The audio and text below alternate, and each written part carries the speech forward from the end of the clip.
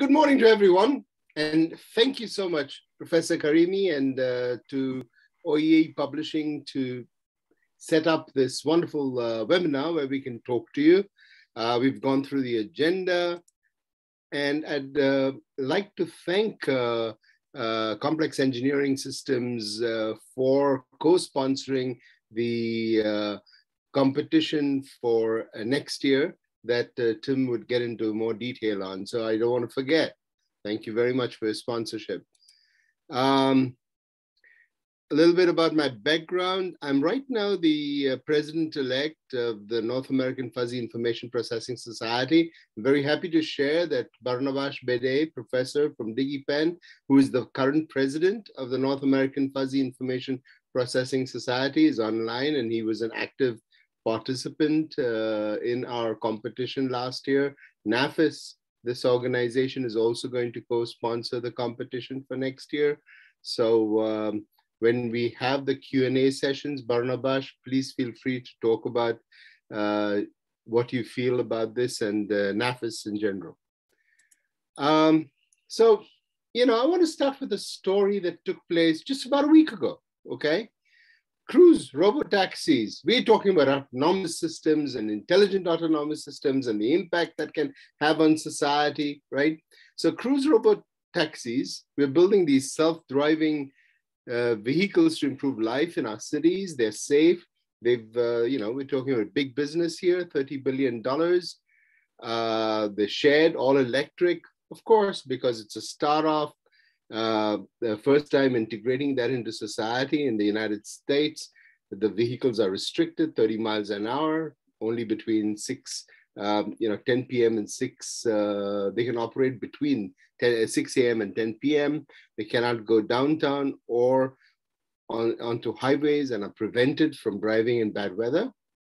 Now, what happened? They take fares, passengers, right? What happened was that on the 30th of June, an eyewitness told the San Francisco Examiner that about 20 of them clustered and blocked the traffic. Uh, something had caused uh, the vehicles to cluster together. And uh, while it took about 20 minutes for the maintenance team to come on the spot, it took a few hours for them to manually, you know, uh, resolve the problem and to uh, be able to uh, alleviate these cars. So the question as engineers is that what happened, right? It does not appear to be a singular mechanical failure because the same problem occurred in 20 vehicles at exactly the same time. So what caused this unintended malfunction? Could it be some sort of a software bug? Uh, and I'm guessing, okay, uh, because we don't know the real story. It could be something malicious, external intervention, cyber interference, human machine AI interface issues.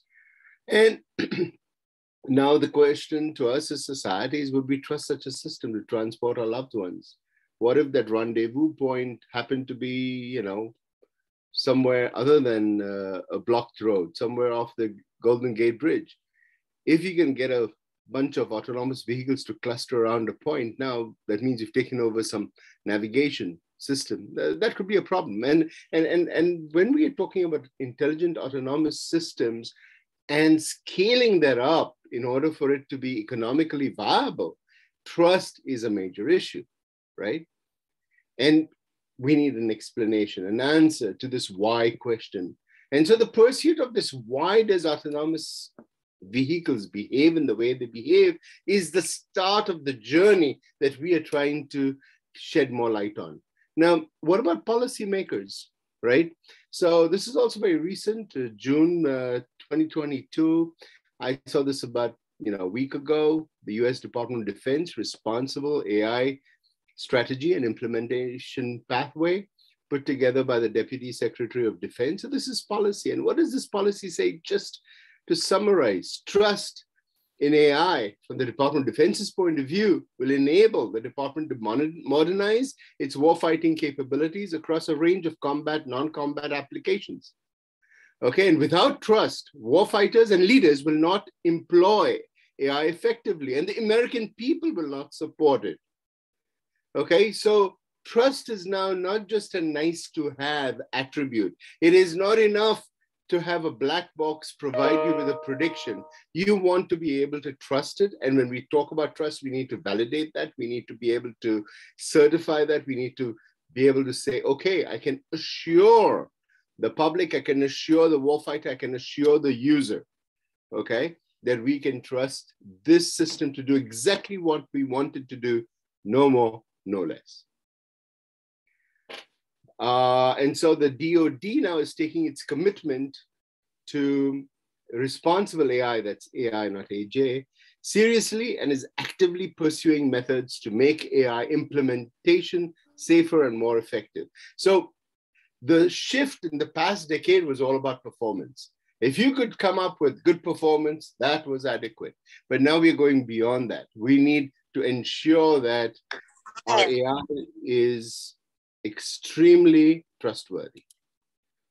You can see the schematic from that uh, uh, report. The report is publicly available.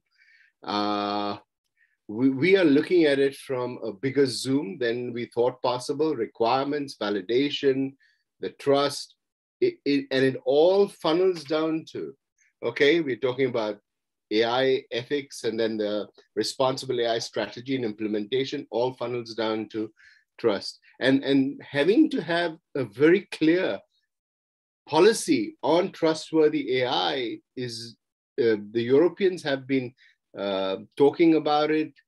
And right now we see that uh, uh in the United States, this is getting more and more uh, traction as well. Um, the need for explainable AI, DARPA a couple of years ago came up with a program. So they've had the need and they've explored that. Why are we doing something and not something else? When do we succeed? When do we fail? When can I trust you? I'm sure all of you have seen this uh, chart. I don't want to delve into it a bit too much. Um, and we want to get answers. We want to understand that why. Why did these vehicles on June the 30th cluster around a certain point? Why did the system fail? And when can I know that I can trust it? And when uh, has it come up with that sort of a malfunction? So you want to define AI, explainable AI, which is one of the attributes that will lead us to that trustworthiness, right? We'll have the ability to explain the rationale, characterize the strengths and the weaknesses, and convey an understanding of how they will behave in the future. Uh, again, another definition of uh, trustworthy AI from 2019. You want to be able to understand the decisions. You want it to be transparent and impactful. Okay. Um, explainable AI, the responsibility. So a lot of the focus in the past has been on model performance, on decision making, right? And now we want to go into safety, make sure we can trust it, ethics, accountability, and also regulations. Um, about six months ago, uh, this uh, article was published uh, as a result of a lot of work done on the Explainable AI program. And uh, a bunch of co-authors got together and put together uh, a paper uh, that starts off with brittle AI. And in our journey through this program, we have seen several big picture takeaways Explanations need to be highly tailored to the scenario. Many seemingly high performance reinforcement learning agents are extremely brittle and not amenable to explanation.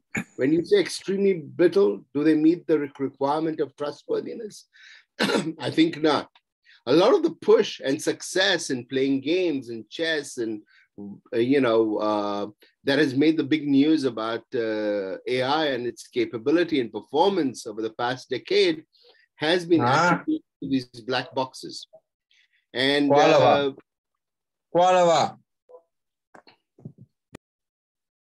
Okay, that was uh, not uh, uh, intended. Please mute yourself, dear friend. Causal models allow for rich explanations, but how to present them is not always straightforward. Human subjects conjure fantastically wrong mental models of AI so when we talk about AI and introducing that to the human, you can see that uh, our perception is wrong. If our perception is wrong, the interaction would not lead to uh, the uh, intended uh, utilization of that technology in the best possible manner.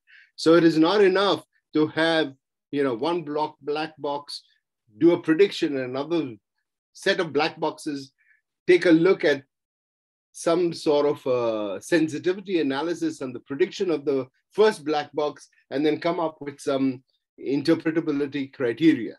You need to be able to get a good mental model, communicate that to humans, because when we're talking about large scale systems, we do not envisage, especially if it's safety critical, not to have the human in the loop.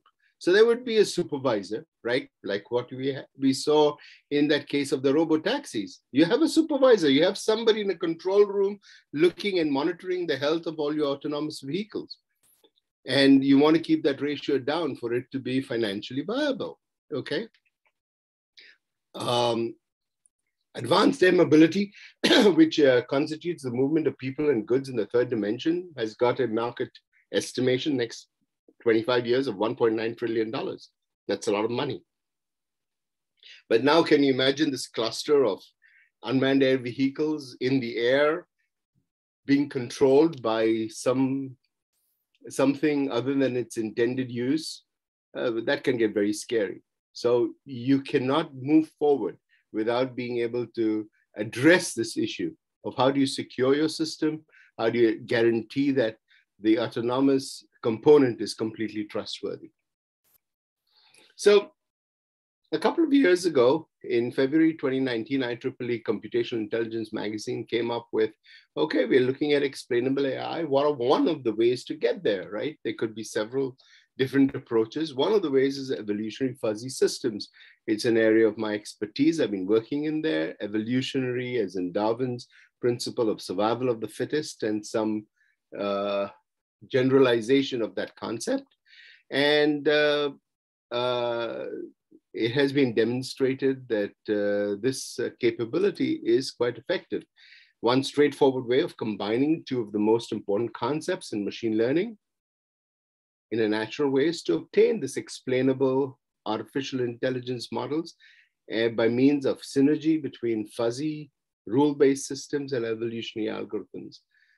Um, I started my journey into fuzzy systems uh, back in 1994, so that's about 28 years. And uh, somewhere about over a decade ago, after I moved to the University of Cincinnati, I started automating the rule generation as well as uh, having to uh, determine the membership functions of both the uh, you know, the interfaces that we have with our linguistic rules, okay, utilizing genetic algorithms.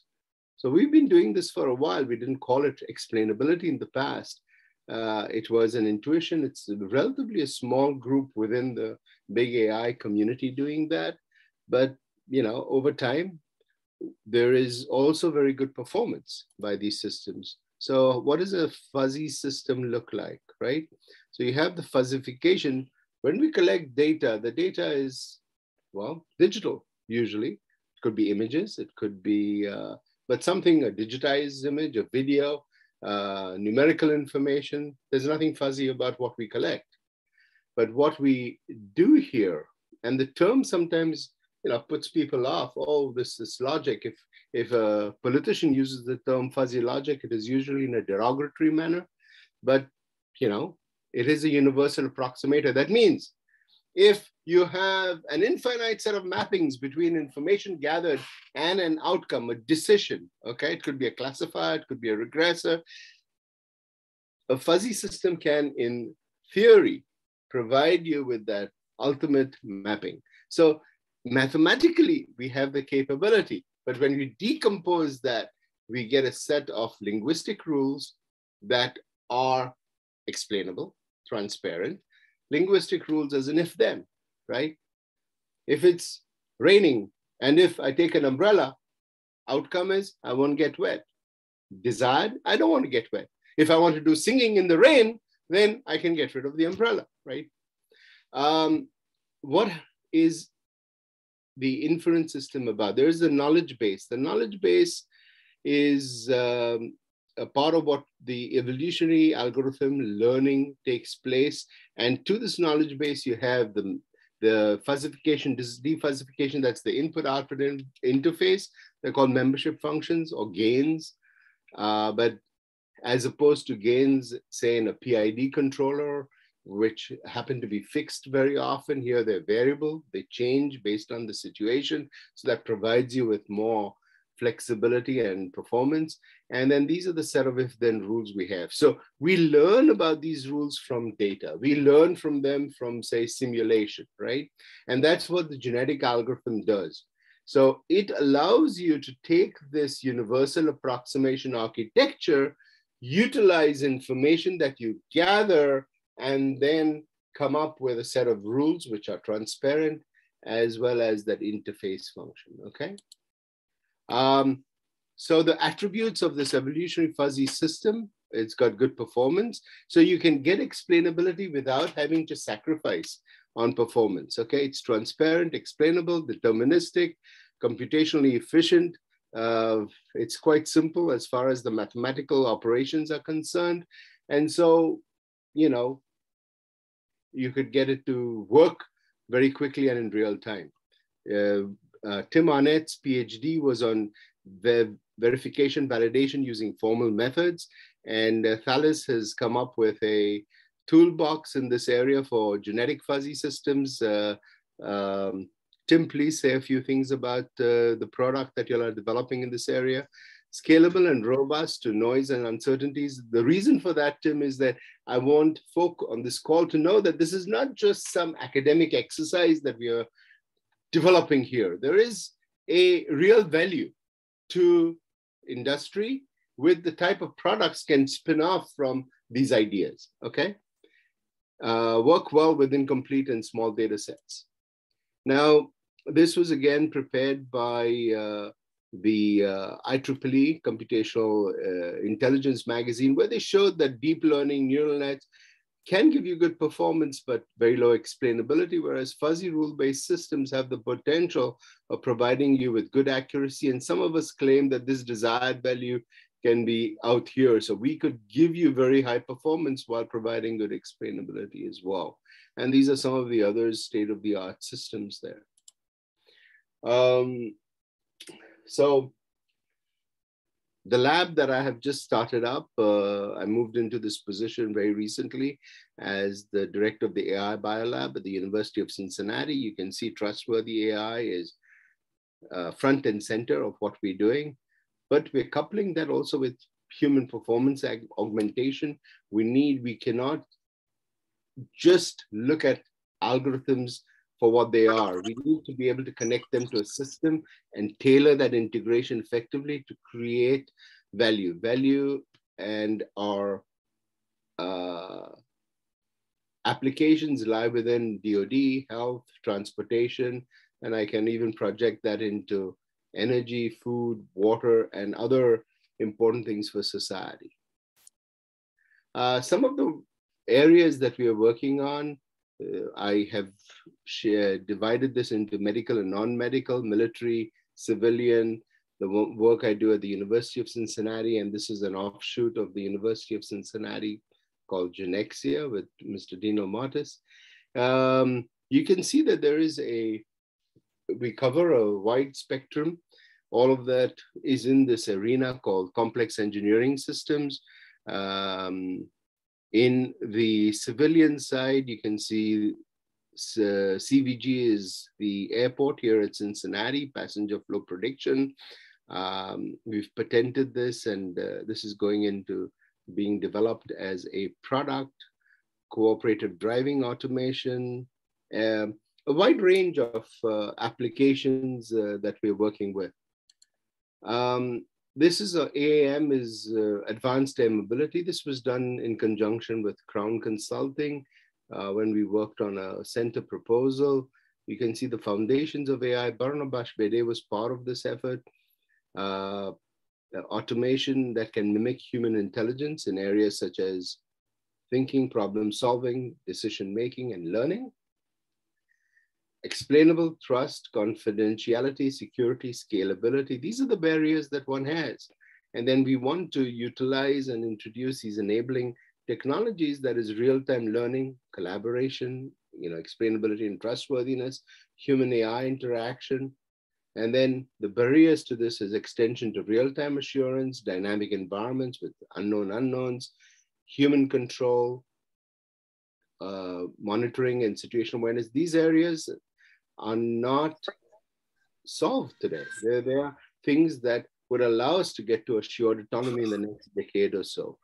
And then the test bed that we are looking for is having to uh, manage the aerospace, optimize route planning, energy resource management, conflict detection, resolution, monitoring. These are system requirements that would come in and help us create these areas. So if I look at my area of expertise within complex engineering systems, I would foresee developing special issues in these areas and uh, encouraging people to submit papers, which I feel that would have a big market from for industry, for investments, because if we resolve these issues, the economic benefits are huge. If I look at the advanced mobility, if I look at autonomous driving, the problems haven't resolved. They have been underestimated as far as the complexity is concerned.